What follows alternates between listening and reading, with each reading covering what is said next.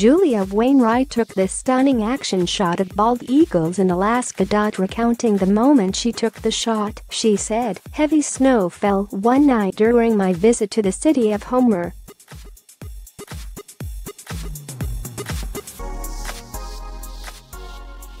As I lay in the snow to capture shots of bald eagles, two began squabbling, sending the fresh white powder flying.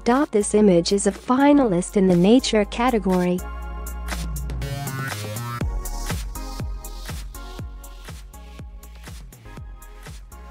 Winners will be announced on February 26.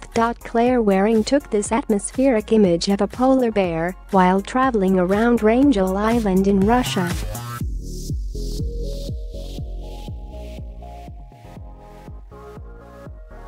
Describing the area she said, the buildings at Doubtful Harbor are decaying slowly. The rangers who work here are tasked with protecting the wildlife in this federally protected nature sanctuary.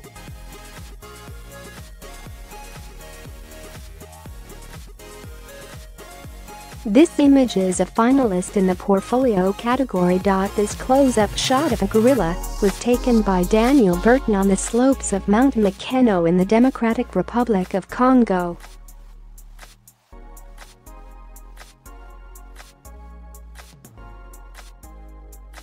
He explained, some of the world's last mountain gorillas live on the slopes of Mount Mikeno. This is a female from the Humba family, a habituated group that lives near Virunga's Bukima station.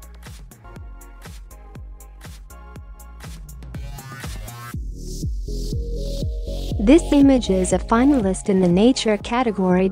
This close-up shot of a polar bear navigating the ice was taken by Claire Waring on the frozen shores around Wrangel Island in Russia.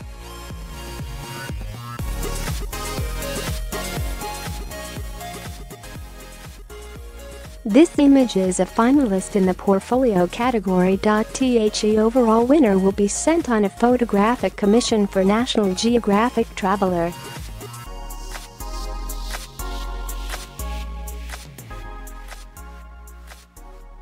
Sharon Kynaston said of this photo taken in Kyoto, Japan, this 17-year-old girl has been training to become a geisha for the past two years.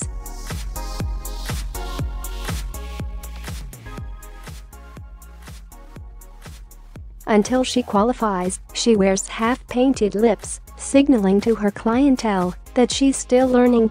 This image is a finalist in the people category.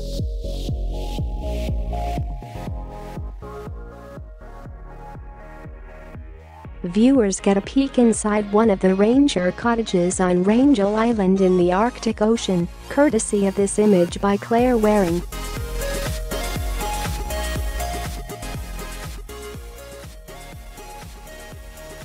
The room appears to be simply furnished, with a map of the island on the wall and a pair of binoculars for spotting wildlife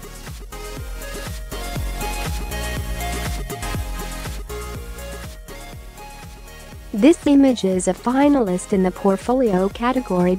Simon Urwin said of this photo taken in the Sichuan province of China, locals come to the tea house to smoke, gossip, have their fortunes told, and watch war movies on the TV.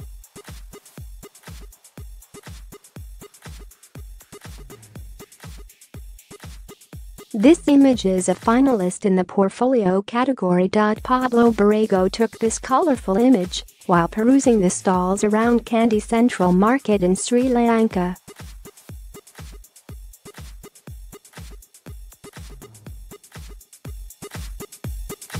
Describing the scene the photographer said, everything in a busy market feels magnified all your senses are pushed to the limit presenting an abundance of photographic opportunities.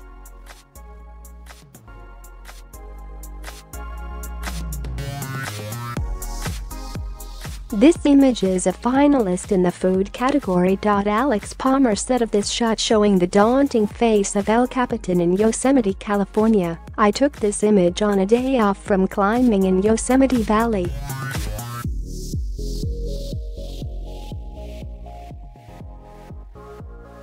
I spotted two climbers approaching El Cap Tower it looked like they were lost in a sea of granite. This image is a finalist in the nature category.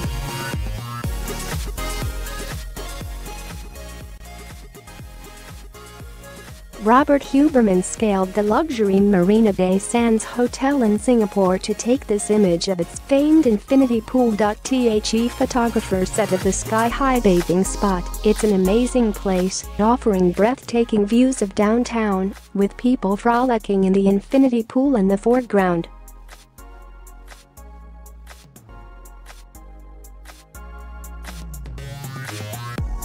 This image is a finalist in the city's category.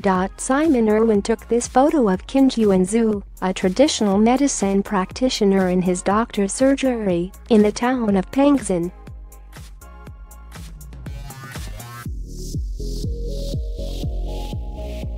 Urwin explains Qin Zhu 78 began studying traditional medicine at the age of 8 under the tutelage of Master Liu, one of the physicians to Chiang Kai-shek, the former Chinese leader who was ousted by the communists and forced to flee to Taiwan.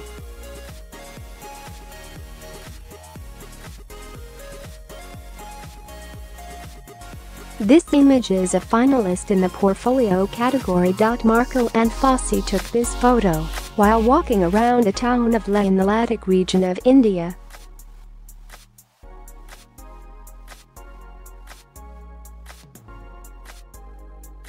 He said of the shot, I was walking through the streets of Leh town in the Indian region of Ladakh when I saw two workers at this bakery churning out bread from an oven.